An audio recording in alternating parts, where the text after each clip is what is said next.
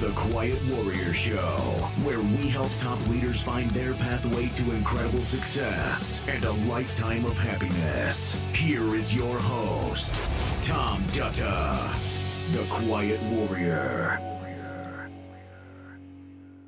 All right, everybody, welcome to the Quiet Warrior Show. I'm your host, Tom Dutta, and we're going to rock today with a fantastic interview. We got a lot of entertainment in here. Surprise, surprise. Listen, if you're watching us, we're live streaming across Facebook, LinkedIn, YouTube, and Twitter. Those are live feeds. Uh, you're peeking in the studio, seeing the interview. You want to hit the subscribe button down there and please subscribe to the YouTube channel. That'll allow us to have more people watch this show and promote the show and do more of these. Also, this will be produced into a international podcast and excited to say a YouTube premiere video that'll be released at some point in the very near future. Everyone, I want to tell you a little bit about the guest I have on today, and he is in the green room. And let me just start off by saying that he, it's not on the surface. He is not who he appears to be. We, uh, I stumbled into a coffee shop a few weeks ago and sat down with Mr. Gordie Hogg and Gordie and I had a, an interesting conversation, and we were just storytelling. And I remember when I bring people on the show, I always look for, you know, what what's the why, what's the backstory. You know that the hero's journey narrative behind the show tells us that it's those stories that really are where we learn and, and are inspired. I'll tell you a little bit about Mr. Gordie Hogg. Many of you locally here, I'm in British Columbia, would would know him. He is a respected visionary leader and he's focused on making a positive difference as a change agent. He's done a lot of work locally, provincially, and internationally. He's been recognized for bringing people and resources together to positively influence changes in organizations within public and private sectors. He has been a, a member of the Legislative Assembly, a member of our Canadian Parliament, a mayor of uh, the city of White Rock. I mean, this, this man has just an incredible bio, one of the things I ask myself is, you know, what's the staying power? Why do why do people who are in public light, especially politicians, what what gives them that sustainability, that staying power? It's because as we know, when you put yourself out in the public eye, everyone you, you literally reveal all. And so let's bring on to the the screen here, Mr. Gordie Ho. Gordie, welcome to the show. Thank you, Tom. Delight to be here. Yeah, it's great, uh, great to have you here you know, you're a man of many, many uh, colors and talents, and I, I, just want to start off with a fun little video here that that uh, somebody sent me. So we're going to put that on screen. Now, everybody, just stand by because, as I said, Gordie has has has been in the uh, in government, and uh, he has many, many skills. So let me show you what, what one of those skills looks like. Just stand by. We're going to roll roll a tape here. All right, here we go. All right, you see that there on the screen, Gordie? I can, yes. Look, looks like me. all right, if you're watching this, all this is a, a clip. It goes back a ways, but uh, what you're about to see here, Gordie, why don't you just tell us? You're basically at work and you're getting ready to have some conversations, correct? Yeah, this is actually in the legislature in Victoria, and okay. uh, I have decided not to run again, and so this is part of my uh, my final address to to the legislature and to the people of BC. All right, so we're going to we're going to start this video clip. Here we go.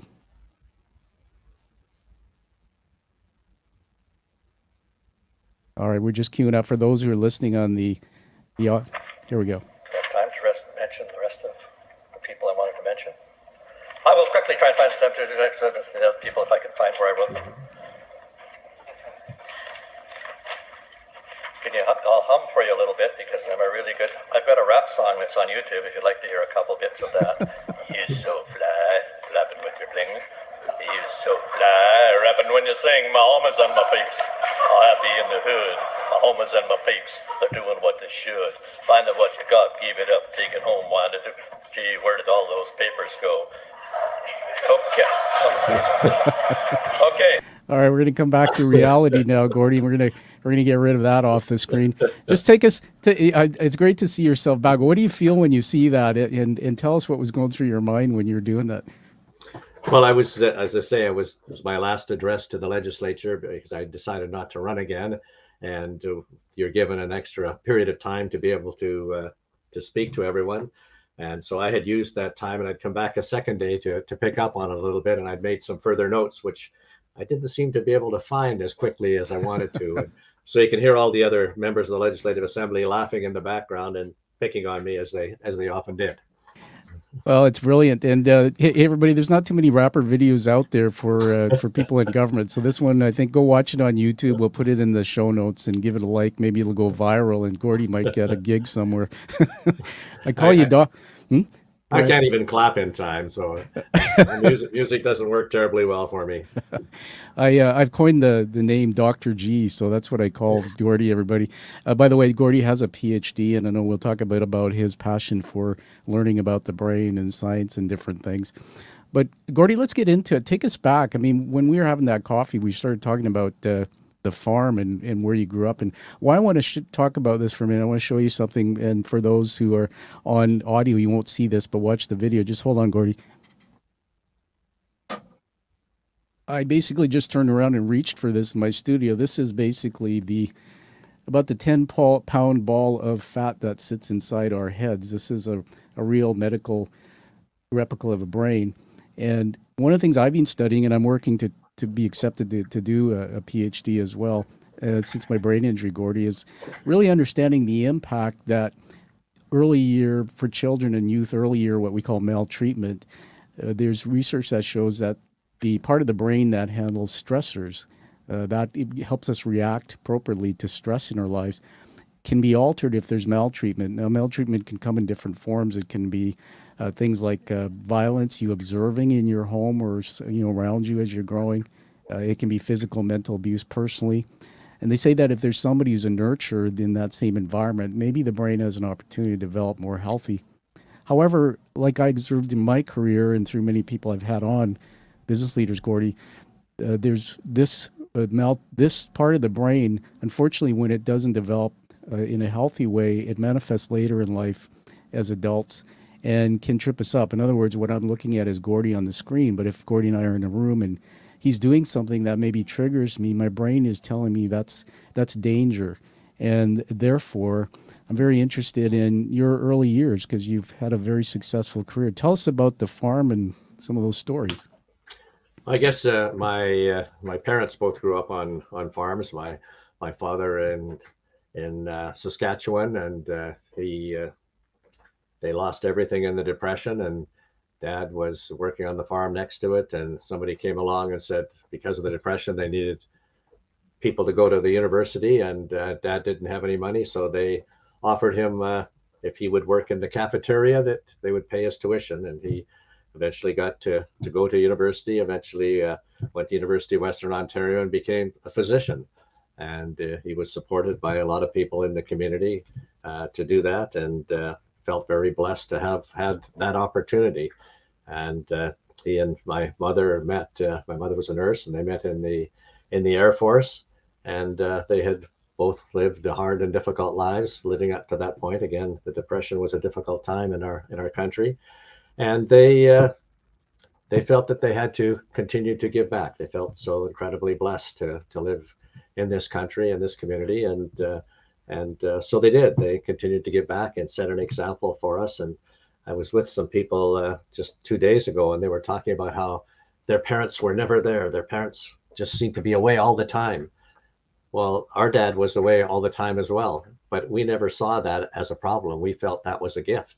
He was out in the community. He was he would get up and go to the hospital before we ever got out of bed. He'd be home at six o'clock, and we'd be watching TV and he we get called for dinner at six. That was our time together. And uh, if we he had a switch put in to turn off the power to where the TV was if we didn't come when we were first called. So we would come, and then Mom somehow had us convinced that if we were well behaved, we could go on house calls with him, and we thought that was quite a reward. And uh, not many other people thought that as a reward, but I just want to I just want to jump in there, everybody. Another teaching moment on this show. I mean, we're learning hacks from Gordie. First of all, rapping, and now that little switch to turn off the TV. today, today, I think we can we can program TVs to go off. Yeah. What I'm what I'm fascinated by, Gordie is first of all another doctor in your life. Your father sounds like a, a great man, and it seems like you must have had somebody in your life around you. I'm assuming your mom who taught you that it's okay for dad to be away. As children, when our dads are away, that story you told is very relevant. It can become that "woe is me" story. Talk about your mom for a minute. She sounds like quite an amazing woman. Yeah, she is a, an incredible woman, and uh, she sort of ran things, but never let us anybody know that she was running things. She told dad that they were going to get out of the Air Force, that they were going to go and, and move to this community, and and uh, so we did. And I remember coming home from U- UBC one one weekend, and I said to Dad, "Well, Dad, I, I need twenty dollars." And so he had me sit at the table and document what I needed it for.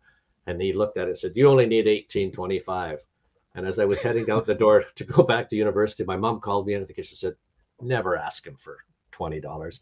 Ask him for two hundred dollars." So about a month later, I said, Dad, I need two hundred dollars. He said, "Okay," and handed it to me. So the little details and then the big picture. If it was something that he deemed to be important, and so mom, mom taught us all of these little tricks in terms of how to manage and work with with Dad, which was pretty unique and positive in terms of her understanding and her grasp for yeah. for people. Yeah. Uh, by the way, I should you should, you know you should have told me that before I saw you for that coffee. I would ask for two hundred bucks. I, I didn't get anything other than well, actually, I got a lot of it meeting you, and it was an honor and hearing you tell stories today. I uh, I started riffing in my mind. What happens, Gordie, is when you say things, my mind's multidimensional. I just go in different places. I just want to tell you one of the stories that just popped in my head was about some of the things I read about the uh, the Industrial Revolution. And you know, back th- back in that age, there was no roads uh, uh and things like that. And uh, you know, some of the farming families, the mom and dad, they worked hard on the farm, and then at night the whole family sat around the dinner table. So, industrial revolution hits, and for whatever reason, the man has to go out to the job, and that was the beginning of you know life. Uh, what, the other the other story that my mom sort of, I came home from school in grade eleven, and she said, "I just saw in the local paper that the short little league coaches. I think you should coach." And I said, "Gee, mom, I'm playing ball four nights a week. How could I coach?" She said, "Well, you could do it after school." So I got two friends, Larry and Derwin, and we started coaching. And five years later, our team won the right to go to Edmonton for the Western Canadian Championships. So the president of the league, Mr. Palmer, said to me, You've got to go to a White Rock City Council meeting and tell them you're taking this group of kids to Edmonton and maybe they'll give you some pins or some money. So I went to the council meeting, came home after the council meeting. It was about 10:30 at night, and I was I was sitting at the kitchen table with a glass of milk, and mom came in and said, how to go Sundays. Oh, mom, it was old people making silly decisions. We were last on the agenda, which she reminded me I became one of those. So she said, You know, no, son, I'd always hoped I'd raised you to be the kind of person, if you didn't like something, you wouldn't complain about it, but you'd get involved and try and make a difference.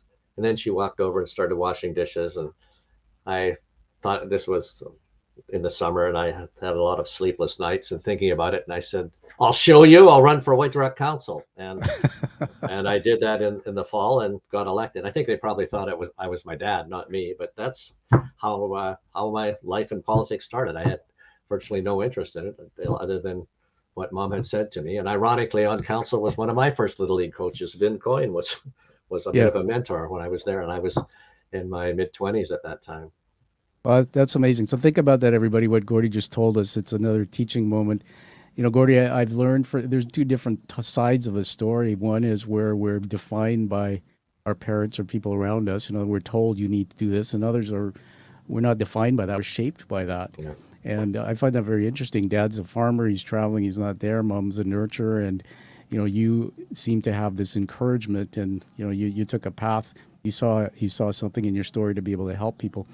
There was a we when we were having that coffee, there was a bit of a defining moment you were telling me about. I was talking about my childhood and some experiences with my dad. God bless him, he's passed a few years ago.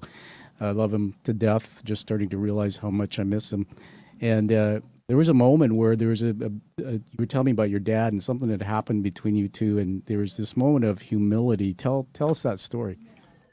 Well, that was uh, a friend of mine, and I used to take the bus down to to a, a, theater, the Park Theater, and go to a show. And we had done that on a Friday night.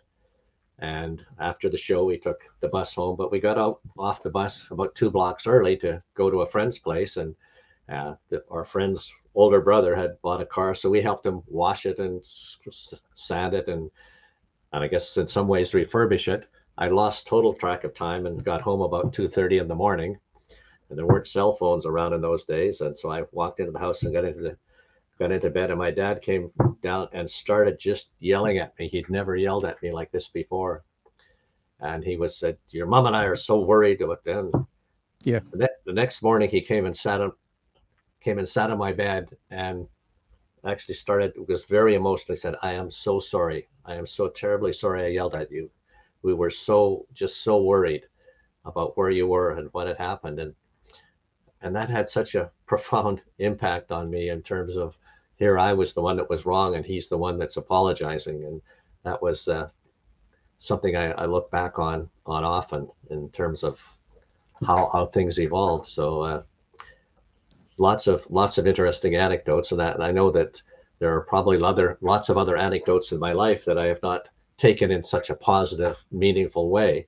Yeah. And I think that's one of the things that we all need to to look at. And certainly, as uh, Laverne and I were foster parents for a number of years, and uh, that that was almost serendipitous as well. I was coaching minor football at uh, at yeah. a park here, and a Saturday morning at ten o'clock, a boy came across the tracks with a cardboard box, and I said, "What are you doing?" And he said, "Well, I got kicked out of my foster home. I'm just living on the beach." And Laverne and I had been married for I don't know six or eight months, and so I said, "Oh, you can come and stay with us until this gets worked out." So he came, and the social worker came and decided that we had more room. So we ended up with three foster foster kids uh, who were all 14, 15 and stayed with us till they graduated. And I'm sure we learned a lot more from them than they ever learned from us. But it was a, a wonderful experience. And I think just staying open to to those little things that happen in our lives that sometimes can we can take them positively or we can take them negatively and and a little bit of compassion and caring is, is something that I have certainly received and, and tried in many ways to be able to uh, to give back in, in so many ways as well. Yeah, it's uh, thank you. Uh, one of one of the things we'll honor your dad. What was his first name? Al. He went by Al. Al. Uh, and you know, everybody, as you watch Gordie talking, you go back and watch this again, the video, you can see the change in your body language, your emotion, and uh, truly, that's a soul moving moment. I want to just talk about that for a minute with you, Gordie, about something that I experienced. You know, growing up as a kid, it was a bit different for me. And my dad left home when I was 12. Most people have read up on my story. And uh, it wasn't until later in life, you know, in 2018, where I had coffee with dad. And really, I'd been estranged from him. Uh, he was a, a, very violent man, and the, the family just uh, fell apart at age 12 and was kind of homeless. And I was thinking if I I, I, wish back then maybe I came across you and Laverne and I put in my hand and said, hey, you know, I, I'd like to be your foster kid. But taking people in like that, I mean, that's the part of this story. And we jump into the, the, the, career part in a moment that I think people, you know, po- politicians generally people don't always know that side of their story. You know, you, I assume you know you're put up in the public eye. Sometimes you're reading speeches and things, and uh, I'm just going to be bold here and say, Gordie, that you know the average person in the world lives on two dollars a day, and guys like you and maybe even I, we're not relatable. And the way we become relatable is when we tell those stories. And the moment you told that story about your dad, you became very real. And I think it's a moment people will will really come to uh, come to their own uh, feeling when they see this. Uh, so my dad, I remember I I got uh, the only time I got drunk when I was a kid was on my grad night now you have to picture this this scene. It's it's it's. I've never told it publicly, but you know, love you and your story. You're getting out of me. So I, we had this. Uh, I had this Chevy Chevette, and I remember, you know, I wanted a new car. This was back in the '80s, and interest rates are 21 percent. And dear old dad, this is when he was around. When and he's drunk all the time. He he said, "Sure, son." He says, "I'll take you down to the Delta Credit Union, and we'll get you." we'll get you that car. So we walk into the credit union, and my dad had arranged a loan for sixty five hundred dollars, and he sat me down and he said to the loan officer, "Son, sign that." and he pays twenty one percent interest, and I I paid it off, Gordie. I worked at the Revenue Canada at night after high school and stuff like that. But you know that was my dad. It's like never never expect a handout. I come home uh, the night of my grad night. I was just so drunk. Me and my best friend Cliff, long haired uh, Cliffy, I called him and I, I didn't even remember. The next morning, when I woke up, my dad found me in my bed, and I had a water bed, which was on the bottom floor of our home in Sunshine Hills where we lived. There was blood all over the bed, Gordie, and and then when you go up to the car parked in the driveway, the door's open and it's running. The, the engine's running. so we piece it back together, and what had happened is I guess I found my way back downstairs. I, had, I still remember it like yesterday, and I had a velour purple top on, and I couldn't get into the house. I lost my key because it was in the car. So I took a round Hoover vacuum cleaner, one of those big round ones. I threw it through the window, broke it, and as I was as I was getting in, I, I went like this, and I still have the scars here on my hand. And I literally grabbed the window and fell in my bed. There was glass all over, and I collapsed. And I, you know, there's blood. So my dad came down, and it's one of those moments for me, being a, an alcoholic and as bad a dude as he became uh, through his own addiction. He just sat there and he looked at me and he said, "Son," he said, "I don't even have to tell you." Or say anything to you about this. He said, I know that you're going to learn from it. And, uh, cool. and I remember now he said, I, I, love you. And that was it. Yeah. And I couldn't, I couldn't see that moment, Gordie, until you told me that story actually in this uh, about your dad in the coffee shop that I had forgotten about that one piece of the story, which is son, I love you. And so I think that's a great moment, everybody. When sometimes parents make mistakes, we yell, we do things that are wrong, but always say the piece I love you that connects to to the person. Yeah. So thank you, thank you, Gordie, for that. For that, um, I want to talk to you about. So now you're in the the the the, the politics. What happened there? How did you move through that? Because you're 20 years old. I was bit yes, in my mid 20s. So I guess uh, I was uh, on council for for 20 years, and 10 of those as mayor, and then uh, I was also working as a, I was a youth probation officer and uh, involved in a number of uh, something called the Unified Family Court, where we dealt with custody and access of children and uh, separation and divorces of families. And so yeah. we, we worked hard at trying to mediate, uh, arbitrate uh, relationships that had broken down dramatically. And, and I should say in there that I have uh, two sisters and a brother who have been enormous supports. Hopefully, we've been enormous supports for each other growing up as well. And yeah, and, uh, recognizing that uh, they're they're always there for us, uh, for each other, and that that was an important part of, of the whole political process as well. And then at the I had done my master's degree at the, by that point, and uh, and then I was approached by Gordon Campbell. There was a, a by-election happening, and asked whether or not I would consider running for the Legislative Assembly. So we had a family meeting, and I decided that I would do that.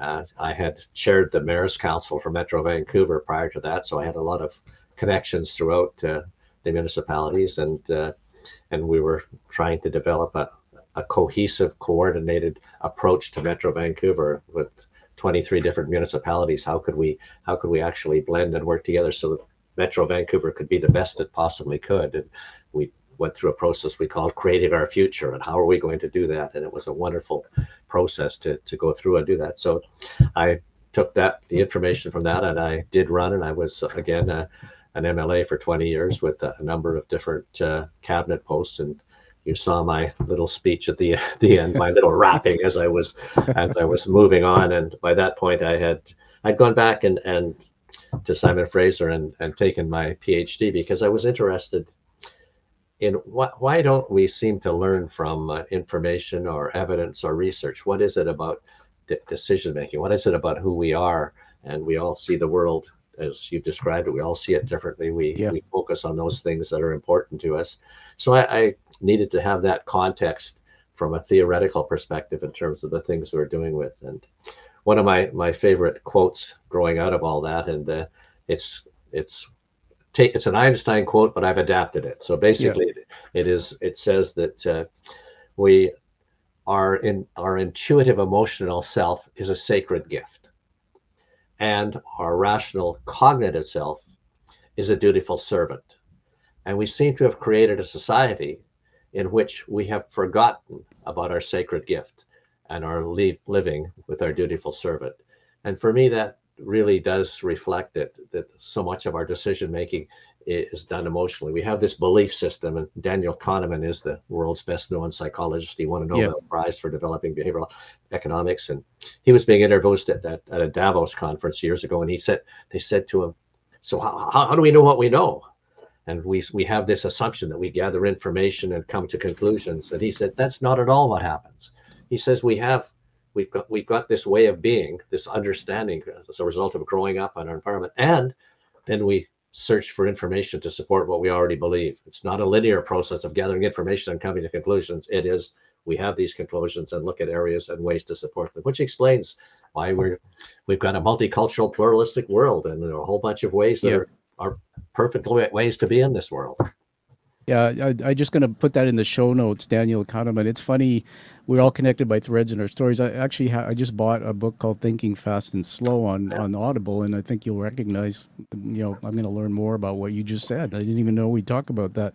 Yeah, yeah, he's he's uh, he's got another book out since then uh, that he's done with uh, with three with two other authors who are also distinguished people. But Yeah. he's, he's certainly and he was asked at Davos, "What's the most important thing that we should know that might change the world?" And he said, "Oh, that's the focusing illusion." And he said the focusing illusion is nothing's as important as we think it is while we're thinking about it. And I think Wow. that was a really interesting comment. Again, how how do we how do we find those things that are important to us and our values and our way of relating to others and to our world? And we we get overwhelmed by them sometimes and focus in on them and and become so focused that we lose the context, the relationships, and the things that are a part of them. Yeah, I think I'm loving the conversation with you, Gordie, especially in that area. Everybody, another teaching moment. You know, Gordie's got in and started or had a, a big, long career. He's still doing lots of board work and helping organizations.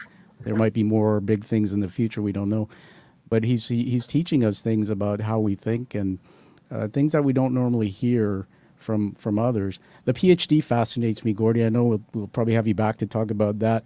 But I want to go back and look at this storyline. So there, you know, from the farm, you you took this path into politics. But I'm really fascinated by the the the helping of children and by the the the taking in foster kids. Uh, everybody, I can't show you the picture because I didn't steal it from Gordie. I wish I did. But you you showed me this picture of your beautiful house. And by the way, Laverne is your wife. And uh, for the American audience, I just we should mention when we talk about people like Gordon Campbell and legislature and all, we're talking about the former British Columbia premier. You know, Gordie's very well respected in this circle. The the you showed me something about it, basketball. Just tell us about that. There was something you you did with your house. I was blown away. Well, we almost had our mortgage paid off, and we had a big backyard, so we built a basketball court in our house. So we, and it's uh, In your house. in our house. It's 40 by by 25, so there's a three point line, and uh, and Laverne wanted to have a family room, so we allowed that to happen. But we also have a shuffleboard and three pinball machines and uh, a Wurlitzer, and uh, and all the neighborhood kids uh, come here quite regularly to shoot baskets and play pinball and and have a good time. So it's been a and we have a well before pandemic we we have a, a block party every year at our house and Wow. if it's raining, we all well, we all go into the gym. We've had wedding receptions in the gym, and it's uh, it's turned out to be a, a great meeting place. And it, well, Laverne thought it was a stupid idea at first. Uh, she's come to embrace it and think it's it's okay. She she grounds me in so many ways. Uh, I love that. You first of all acknowledging and honor you you recognizing your wife as somebody who's a strength in your life. Uh, I think men who have are public uh, sometimes we forget about that. But I don't know. I think would tell Laverne. I think Shaq would have something to say about that. I think I think I think he'd I think he'd love to compare your your court to his. So everybody, we'll put in the show notes Gordie's personal address. No, we won't do that. But uh, so what? What I want to just throw something at you here about uh, purpose and passion. So you know, you, I've heard and I'd like to know what you think about that. That you know, after careers, there's sometimes there's a big letdown for people because a lot of times we define ourselves by our careers, but we don't develop anything that that's beyond that. And so here you are, and you've got this passion of the youth and all these things you do to serve. And uh, I just, you know, what what what is it that drives you forward to continue to serve? You know, Well, and I think I think it's it's it's value based, and uh, certainly growing up in a family that uh, the mother and father and siblings, who brother's a social worker, my sister's a nurse, my other sister's a, a lawyer, and so they they've all been been giving in in some way or another, and that and certainly dad gave all the time. And another thing, mom mom said to us as we were growing up, "I- I- Eh, eh, invite all your friends for dinner Saturday nights. We'll always have hamburgers, and people can always come. And I remember probably five or six years after we I graduated from high school, and I didn't realize this one friend of mine was on social assistance and his family, and he came for dinner almost every Saturday night, and he said how important it was, and it, of course, it never occurred to me, and I guess mom probably knew far better about what was going on than I did. So th- those types of things have a have a, an emotional connectedness Yeah. with who we are and and and how we understand things and and how grateful that we must be for those opportunities we've had. And and there's uh, I don't think I was terribly unique that I just happened to have a, a lot of great opportunities and, and great support. And uh, I remember another story with dad. I I had I played basketball at university in the first year there and we went and we won a, a national championship in New Brunswick and a friend of mine Bill and I we didn't come back for final exams failed everything. So so so I and in those days they mailed out the marks so I was going to the mailbox and Uh-oh. finally I, I sat down with the the marks and across from dad at the kitchen table and he's looking at them. And he looked up and said well you know son I saved a couple dollars to help you go to university but if you'd rather me make a down payment on a backhoe I'm happy to do that and I said well well maybe I'll go back and try again dad so but, but there, there was no anger there was nothing it's just you know okay if this isn't right for you. But so again, putting the onus and the pre- not pressure, but putting the onus and responsibility back on me for making those decisions and all of those things along the way. Uh, I I reflect upon quite Yeah. regularly and wonder where they come from in terms of Yeah, that you- understanding. Yeah, we again we honor your dad. You had a great mentor. Many parents learn learn learn from Gordie here. I mean, letting him make the decision, not telling him what he should do. I think that's great. Yeah. So you care a lot about children and youth, and uh, I want to ask you a question about imposter syndrome. You get when you be you're you're a young guy. You're in politics. I mean, let's face it, Gordie. You're very humble, but you know, becoming mayor and then uh, parliament and all these things. I got some cool pictures. I just want to put one on the screen here. Just hang on to take you back in the audience. Tell us what that is. Oh, that's uh, that's me signing in at the House of Commons in in Ottawa when I was elected. So that's uh, just the signature and and the, and the the blanket is the blanket I have right here. Oh And my it- goodness! I and it didn't. wa- Uh, and it was it's given to me by uh, an Aboriginal. hold it, hold it up again. It's uh, it was given to me by Paul Lacerte, who started the Moose Hide campaign. Uh, he's an Indigenous leader, and uh, the, the Moose Hide campaign is to bring awareness to domestic violence, violence against women and children. And it's uh, as a result of along the Highway of Tears, he and his daughter were hunting on there. They shot a moose, and she burst into tears, said a, a woman might have been murdered here. Wow. and so they decided they had to do something. So I took them to the legislature in Victoria, and they they started this, and then it's been in every legislature. And uh, I also had them uh, introduce them to the prime minister, and it has now been in every legislature in Canada. And Really? recent, recently, the RCMP have approved these to be worn on their uniforms. The first time they've allowed anything that's not traditional to the RCMP to be worn on their uniforms. And I think there were 450,000 people that wore these, and uh, on the day of of uh, remembrance for the Moose Hide campaign and, and the fasting day, 450,000 with about about three weeks ago across Canada. That's fantastic. I just put that picture up again there, everybody. That that you know they say a picture holds a thousand words, and we remember stories and memories. That that blanket there has significance. I didn't know that. I, I just was riffing in my head, thinking when you started rapping, they just threw it over you in the legislature, saying just shut up. but uh, it actually They- had more. They would have put it over my face if I was laughing. They wouldn't want to hear anything. Uh, that's too funny. Uh, just for the sake of our international view, uh, listeners and viewers, what what the uh, Highway of Tears? Just very quickly, what what's that? Well, that, that is a, a highway that's up in northern British Columbia, and it goes from the center down down to the to uh, to the ocean front, and it's a about a hour and a half, two hour drive, and there were a lot of indigenous women in particular who were were going along there who were stopped and uh, and disappeared, and so it's that's why Yeah. it was named the Highway of Tears, and now that's it's much better than it used to be, and they've they've handled that very That's well. wonderful. Trying to Yeah. move it, yeah. Oh, I love that, and that's part of the. Le- I hear think about legacy. What are people doing with their stories and their work? And everybody you see, Gordie, throughout his life has created a legacy. Even the basketball court and the kids. I mean, those kids. Will, I, I think those kids will go into life, Gordie. What do you think? And they'll they'll be better off for it. Or at least they'll be telling stories about how this guy sort of took them in and helped them out, right? Yeah, we actually have a, a fellow who was our neighbor two houses up, Yeah. probably 15 or 20 years ago, and he's now moved. He's just he's married now and living a block down to the south of here. But he, his kids come here all the time as well, which is kind of neat having that that ongoing cool. connection and in Yeah. terms of that. and I just I, I was as I was reading your book, The Way of the Quiet Warrior, and and uh, reminiscing about Daniel Igali and uh, I had been invited to speak at a Commonwealth conference in Nigeria, and uh, Daniel had I I met Daniel a number of times, and so he invited me to go out to his village, the village of Eniwari, in, Oh, my. in Nigeria. So and uh, my sister went with me. Laverne was not feeling well, so we went to. Uh, I, I spoke at the at the conference, the Commonwealth conference, and then went out to this village. Uh, we it was about a two-hour flight, and then picked up by a car, and then Wow. and, and then we went to a house where Daniel's parents lived and our mother lived, and they were having uh, someone was there to ask for his sister's hand in marriage, the, the groom didn't get to ask. It was the place was packed, and somebody was the spokesperson. And then we went from there into this boat with guys with AK-47s up the up the river, and uh, Goodness. to, to this little village and it's the village that uh, daniel through support has put a lot of he put a school into it and and has done wonderful things and so he's been a, a wonderful influence and that uh, i've spent time with him and his actually his family still lives in in surrey Yeah.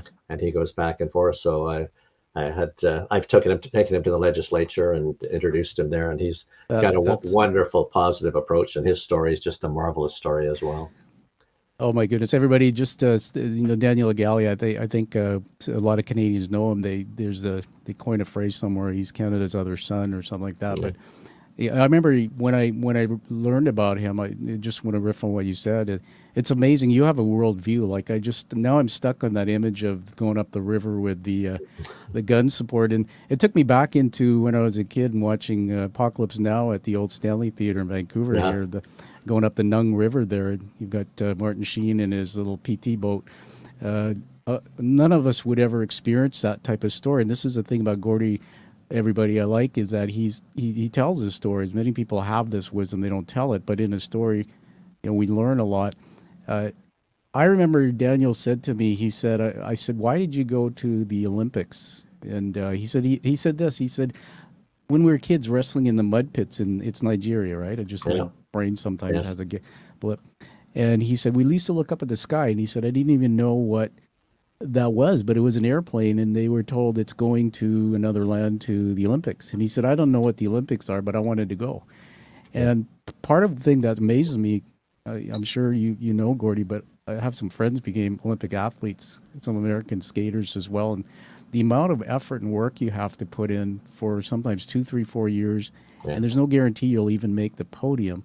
Uh, Igali came over everybody to Canada and uh, won a gold medal, and I still remember. If you do, Gordie, do you remember like your blanket? There he was with that. Remember that Canadian flag? Yeah, great story. and he put it on the ground and he, he kissed the flag and you know here's a here's a hero from Nigeria who's now in Canada and by the way I think wouldn't you say that's one of the great things about our country that we can bring we don't color people basically he's a Canadian and we can love him as much as anybody else Yeah, and I think it's a wonderful story about him because he played at the Commonwealth Games before he went to the Olympics representing Nigeria. And the Commonwealth Games were in Victoria. And he tells the story of uh, he decided that he really liked Canada, so he thought he was going to stay. So he came out of the, their dormitory and he went up and saw a man standing on the street talking on his phone. And he stood beside him for a while. The guy said, Yes, can I help you? And Daniel said, Well, uh, I, I want to live in Canada. Can I come and stay with you? And he said, Well, I've got two children and a wife. He said, Well, you must have lots of room then, because Daniel's experience was families of many, many kids. right And actually, the fellow took him in for a while and, and helped him get going. And, and and it's just a marvel story. And then he went to Simon Fraser University as well. And Yeah. and it just a, a delightful it's guy. And Yeah, uh, uh, yeah, great, great story, and especially I didn't know you went down there, but man, I'm living through that one. Going, going back to what I was asking about the the career, you know, they say there's this term, it's overused, I think, it's sometimes imposter syndrome, and it really means different things. But it's like, do you ever, did you ever pinch yourself and say, is this really happening? And you know, what was your biggest fear, and what was your biggest mistake, and how did you learn through that when you got into being mayor, et cetera? Oh, I've made lots and lots of mistakes, and uh, hopefully have learned from from most of them, if not all of them. And uh, sometimes I was uh, probably revealing things about some of the people I was working with that I probably should not have, and uh, and and felt badly about that. I felt it was moving a policy forward or something that, uh, Yeah. but but using somebody's uh, context and in one case a name which was was inappropriate and I shouldn't have done that. Uh, so there's th- those types of things. Uh, when I was the warden of our largest youth detention center, there were uh, different times where I had to make decisions about whether people could go on passes and leave and uh, on leave, and uh, I made some decisions there that probably were wrong.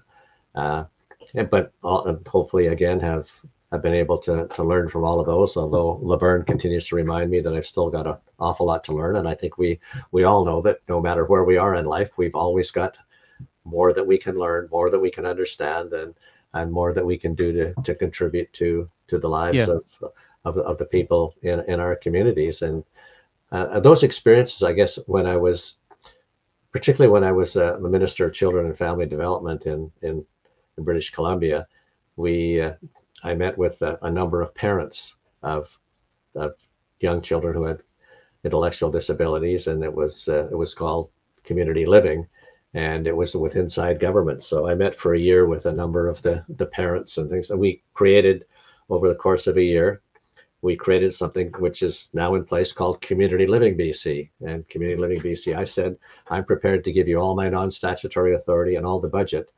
And we put together a, a Community Living BC, and, and our, our re- re- rules were, or the legislation said, you've got, you have to have two people with intellectual disabilities on the board, and everybody else has to have a relationship, a, a child or, or a partner or somebody with intellectual Yep. disabilities. And it was going back and forth with with the government officials. Well, how are you going to find 30? How are you going to find liars? And we brought all the liars in and accountants for, for the board. And we won a, an international award from Inclusion International saying this is a very forward thinking process by by which you, you, this has been developed. And it was these parents of of children primarily Yeah. that were able to put that together. And it's people with that lived experience, that emotional lived experience that can make such a difference in the evolution and development of policy. And my other example around that was that with the indigenous people, and uh, one of our foster child was is indigenous, and we had uh, we had I recognized when I was the minister that there's a disproportionate number of indigenous people, indigenous children in the care of the state. So I started meeting with Grand Chief Stewart Phillip, Grand Chief Ed John, uh, Harley Desjardins, head of the Métis, and Scott Clark with the United Native Nations. And I said, I'm prepared to delegate all my non-statutory authority to you, but let's find out how we can do this. We met for about seven months putting the processes together, and the deputy minister came to me and said, "We're making great progress. Let's let's bring them down to Vancouver and see if we can sign a memorandum of understanding."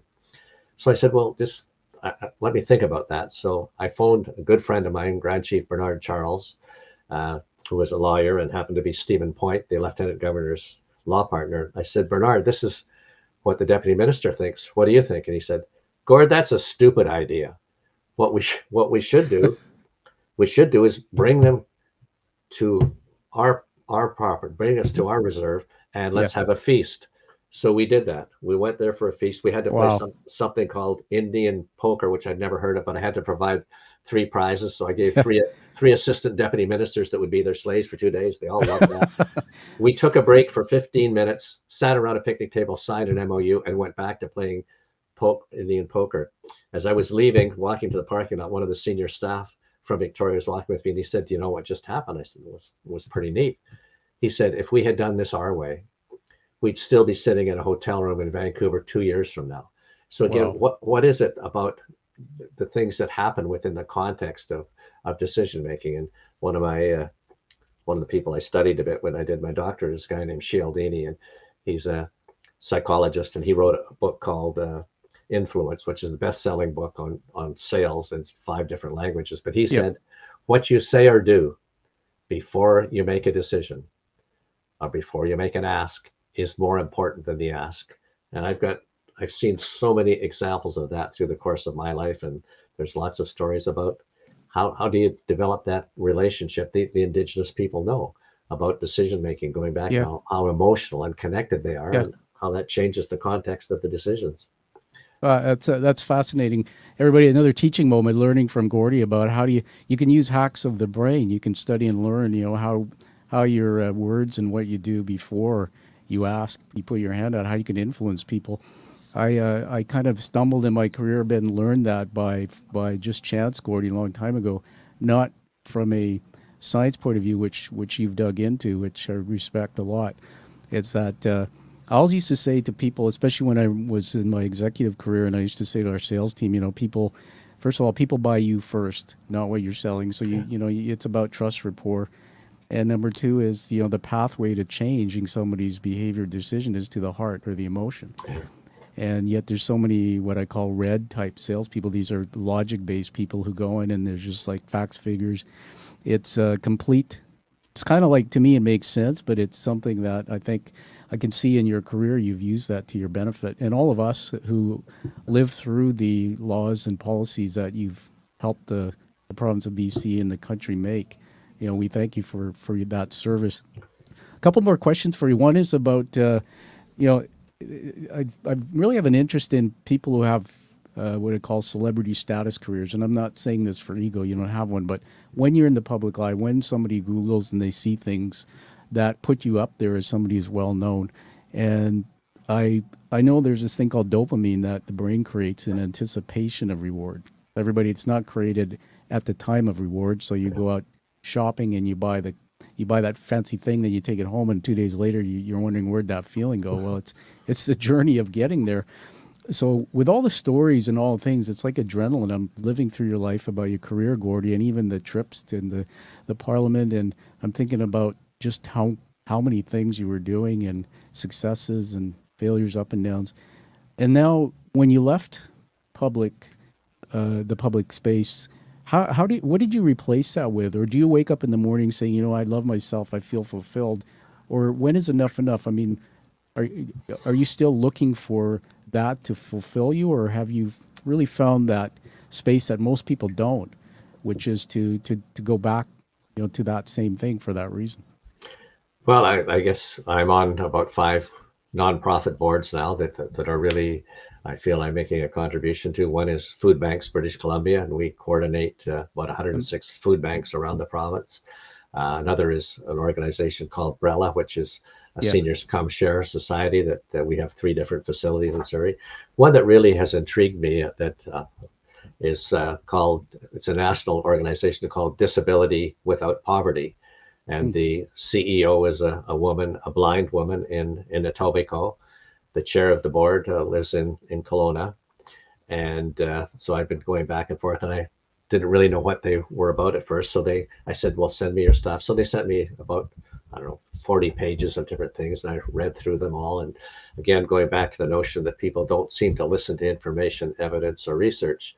So I took their their issues and I put it put it into one page and this has been intriguing for me. So, uh, and basically, there's something in psychology called transference. Yeah. If I were to say to you, Tom, boy, maybe if you wore a blue shirt, that would make a difference. At some level, I'm telling you that you're wrong. And that's what the approach they were taking. And so many of us take as we hmm. approach mm. government and other people. So I rewrote all of this data that they had and information. I said, and basically, and this is for, for them, and they've taken it. I, I said, we are so proud to be Canadians because we're signatories to the United Nations Statement on People with Disabilities. And we are so proud that Canada's Charter, Charter of Rights and Freedoms, I think it's paragraph three, we refer to people with disabilities. Yeah. And how can how can we now assist you in being able to ameliorate the disparity that exists between our vision, our values, and what we're doing? And and that's and so again, instead of getting that transference. We're, we're yeah. trying on the same side. So I was talking with the, the chair of the board. This was probably a month ago now. And she said, Oh, this transference stuff, Gord, this has just changed my whole life. And I said, well, What do you mean it's changed my whole life? And she said, Oh, you should hear me talk to my husband now. It's totally different. so it's, that it's, is a life changer. yeah. So when you uh, ask, so those type of things, uh, I still get some excitement about and the buzz about yeah. being able to do those things and want to be able to be and I've been approached by a couple of other boards and opportunities. And so I'm actually an adjunct professor at Simon Fraser in criminology, and uh, I've chosen not to teach because I don't want to teach virtually. I want to teach in person. Yeah.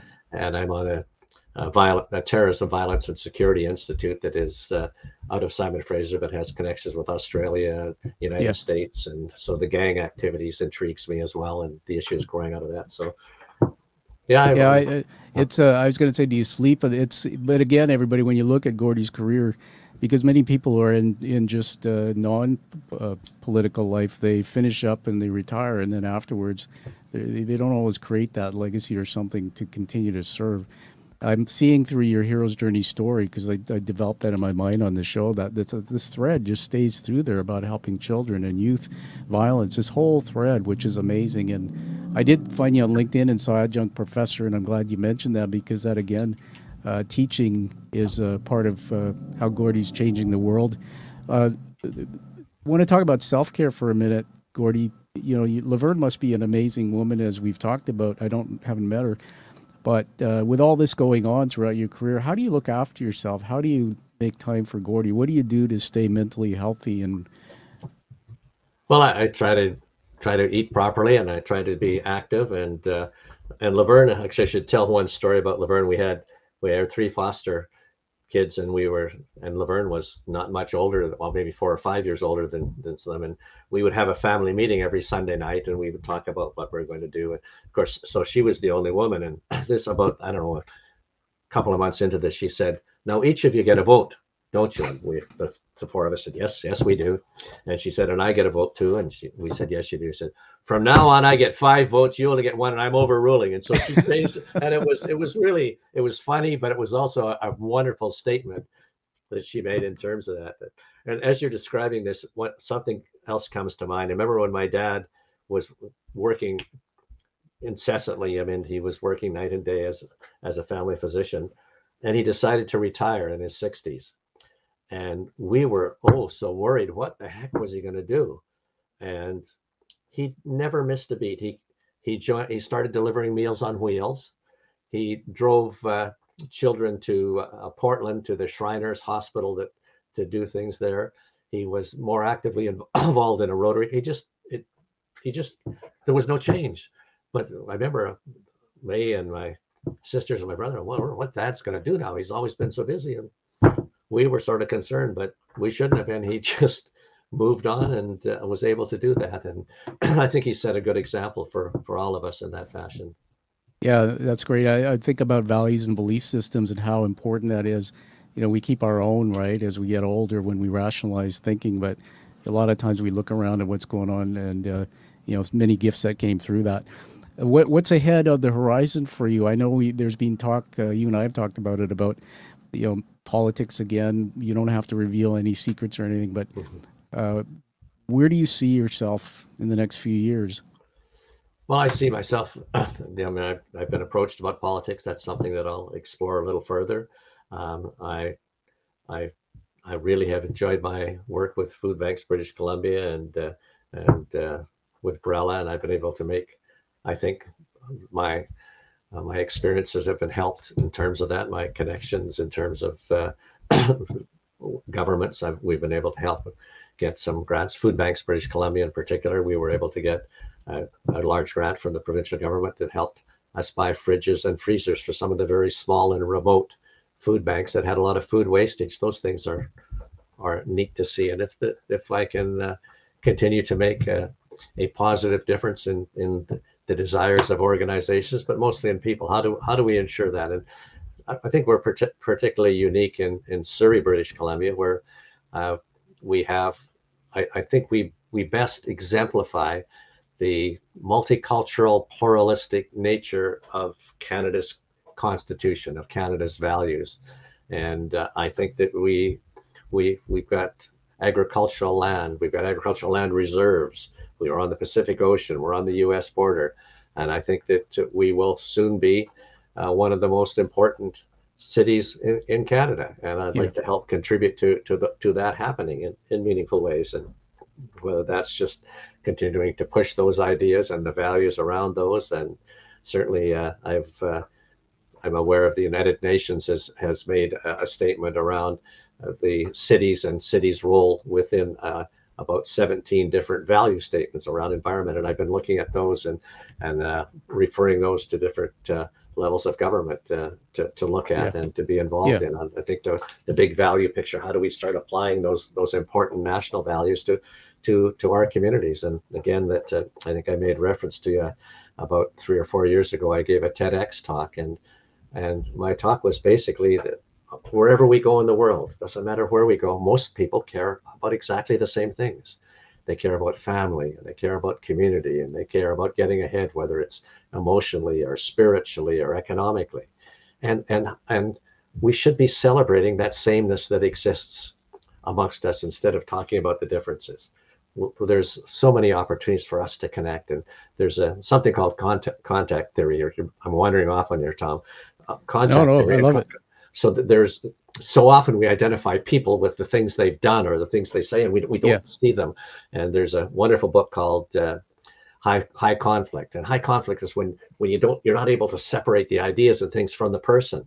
Yeah. And so so there's a a a lawyer in just just north of uh, San Francisco, and he was approached by a couple friends of his who said, "We want a divorce, and we want you to represent both of us." And he's a lawyer, and he said, "Well, that's not how it works." Well, he eventually did, and then he's he's he's spoken to law societies across the United States about that, and, and it's become quite popular.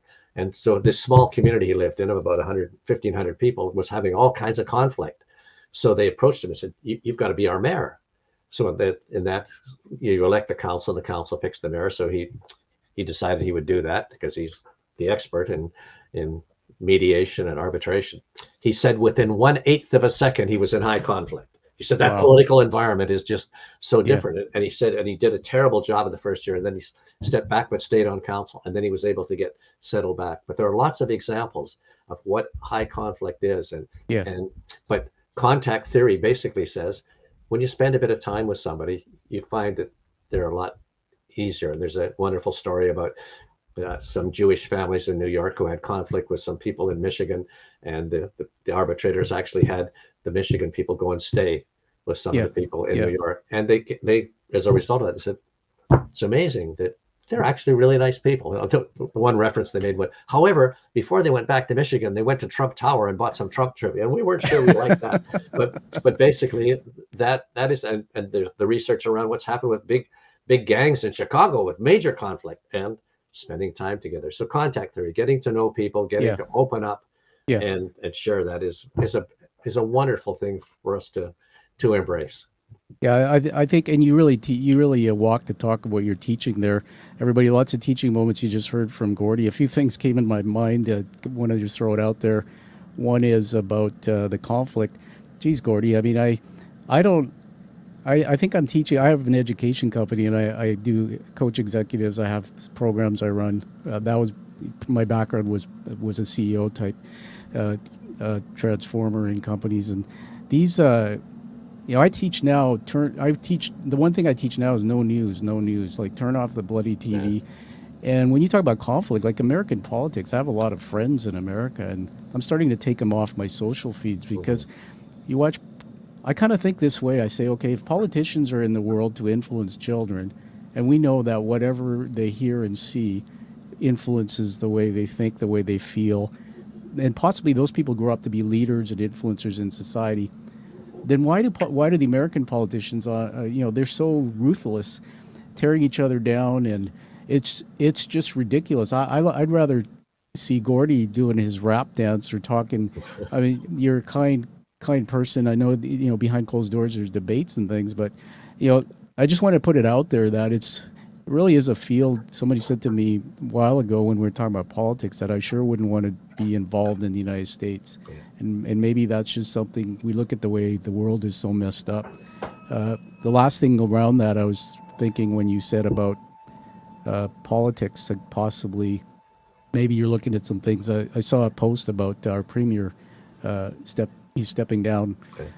I don't know all the reasons. I know he battled some health issues. Uh, he looks pretty thin too, but hope he's okay.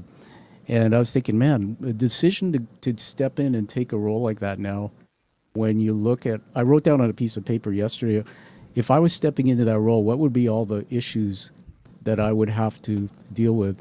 And now it's not just British Columbia, but it's this whole European possible third world war, uh, it's recession, the price of oil, it's all this supply chain. it's a huge uh, it's a huge job to be involved in leadership. Yeah. And, and I'm just I'm just wondering if you if if you look at it that way, how how I mean, would you step into that arena? I'm not suggesting anything about you here in terms of being a premier, but is it too complex a world to to get into leadership now? It is complex, but it's ever more important that we have people that do that. And just you made me think of what we had our food banks BC. We had our three day conference about two weeks ago. Yeah.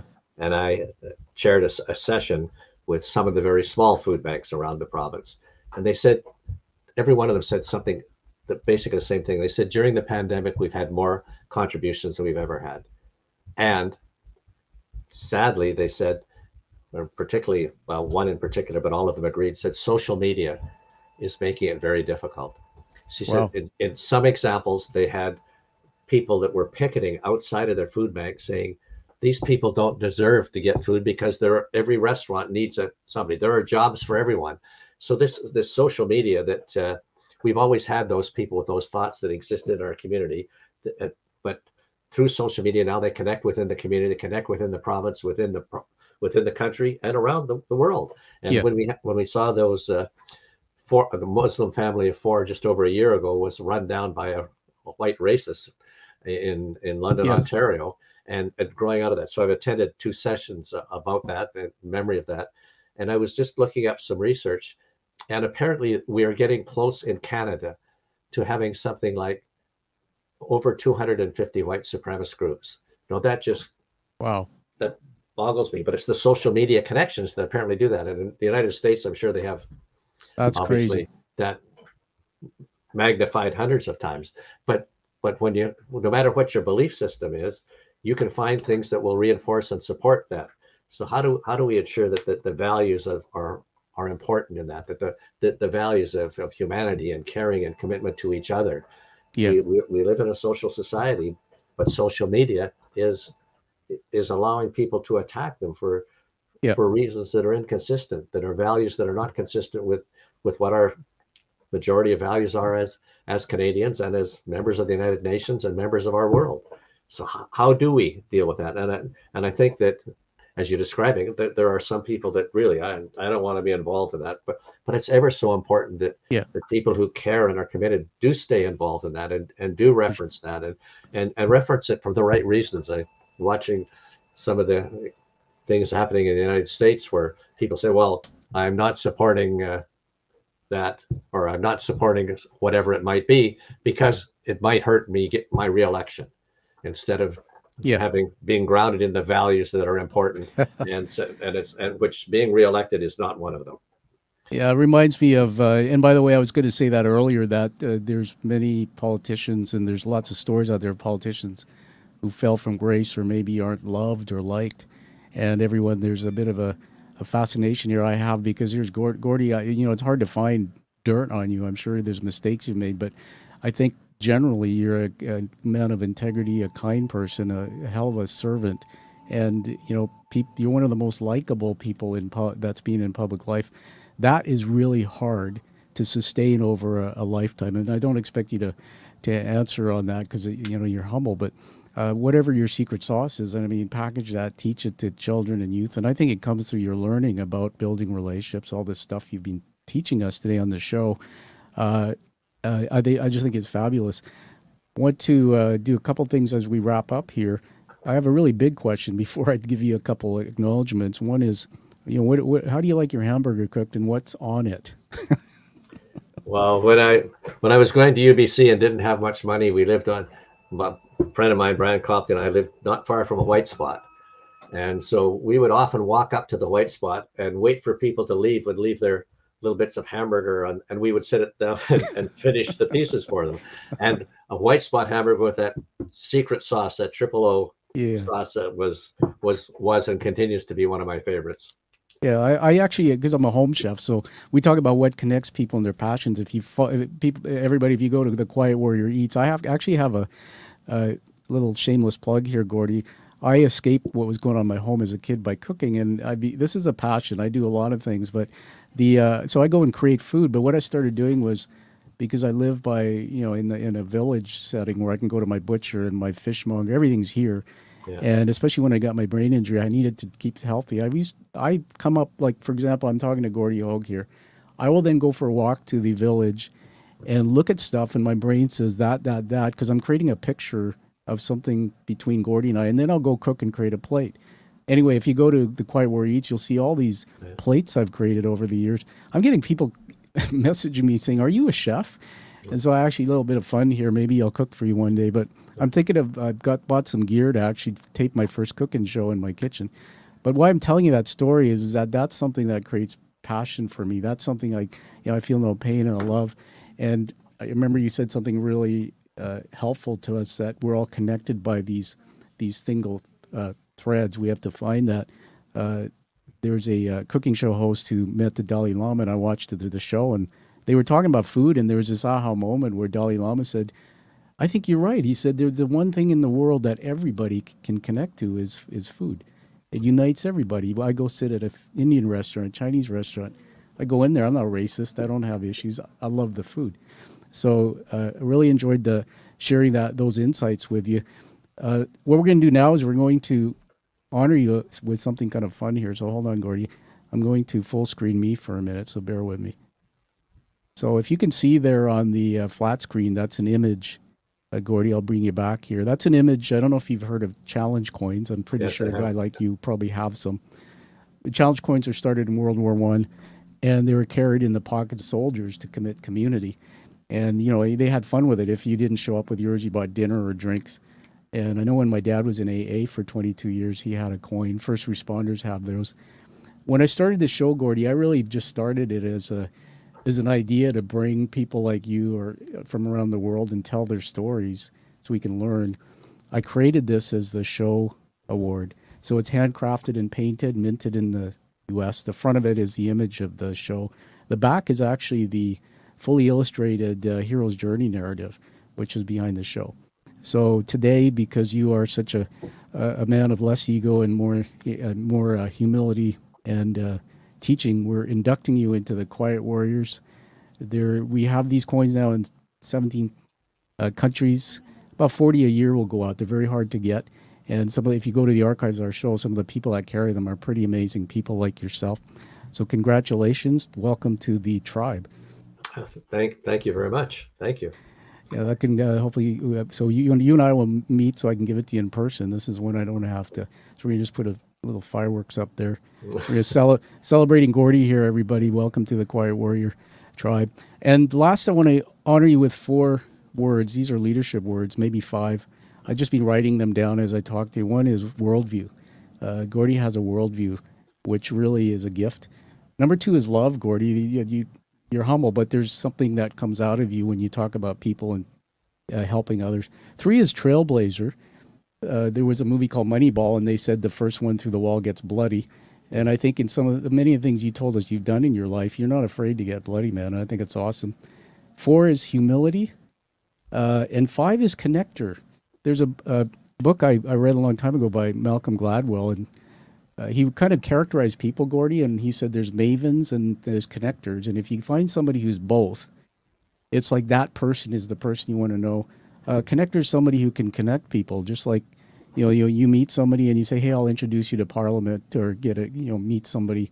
By the way, I like a tour of Parliament, Gordie. Just put that on your short list. And uh, so Gordie's a connector, everybody, and uh, he gives. So the person you want to get to know, and behind everybody are are, are much more more people.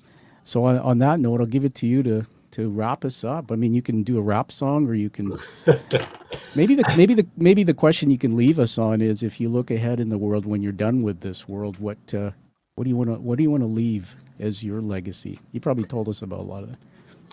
Well, I guess as you were talking about being a, a chef and walking and, and cooking, one thing that uh, came to mind is uh, well, well, firstly, when the Kentucky Fried Chicken opened in in South Surrey White Rock. I was in high school. Two of my friends, we went up and stole the cardboard Colonel Sanders, back to mom and dad's, put a blindfold on him, and sent a note to them. If you ever want to see the Colonel again, leave three chicken dinners at the end of the counter at three o'clock today. So we drove back up there, and there were the three chicken dinners. We served up the Colonel Sanders, and about I don't know how many years later that this is in the local paper that uh, Yeah. that I I had kidnapped the colonel, and it was. But you're talking about about walking and and experiencing things. There's uh, we talked about Daniel Kahneman earlier, and Daniel Yeah. Kahneman, a lot of his research with his research partner was a guy named Amos Tversky, and they would go out and walk, and that's how they learned. They didn't sit in a laboratory doing things. They actually walked and talked in the environment. And I think there's such a good connection that Yeah. happens with people and with the environment and the things that happen. So again, that's that blend of of the thought process and the emotionality that exists in terming that. And to the quick anecdote about that, there one of the research that that they didn't do, but they reference is that there were they took a hundred X-rays and gave it to 50 radiologists at the desk, and they were and some anomalies in them. The people at their desk, the radiologists, got about 85% of them right. They took the same ones and gave them to 100 other radiologists who were on a treadmill.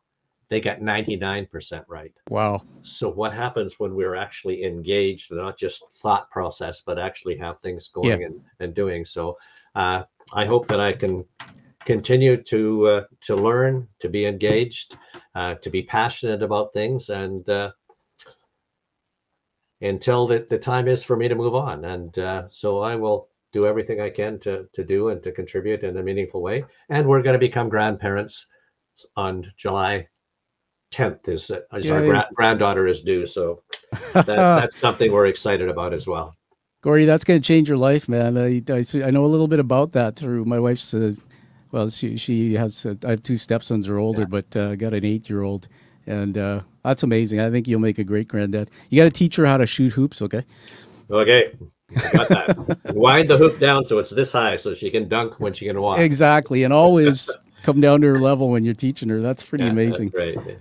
Well, everybody, uh, find that true passion, like you've heard from uh, Gordie there, and turn it into a purpose to to change people's lives, and you know, live that life that you deserve and desire. Gordie, I I just can't say how much I love you and your story. Thanks for being here. I know I'll talk to you again, and uh, you've really been a treat to have on the show.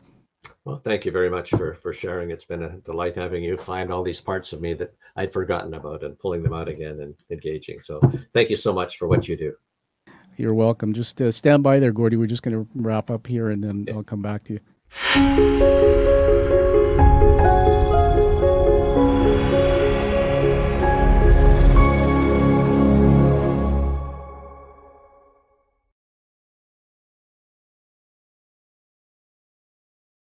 Element Firm. Www.kreat.ca.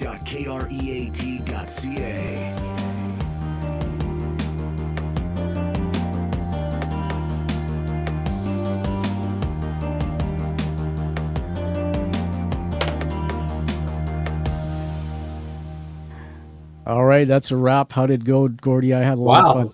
W- w- We went a lot longer than I thought we were going to go. I I'm just- telling you, I'm telling you, the, the storytelling is it. Uh. I had a lot of fun. So what uh, what we're gonna do? I'm just gonna take us offline now. Uh, just stand by and then let you go.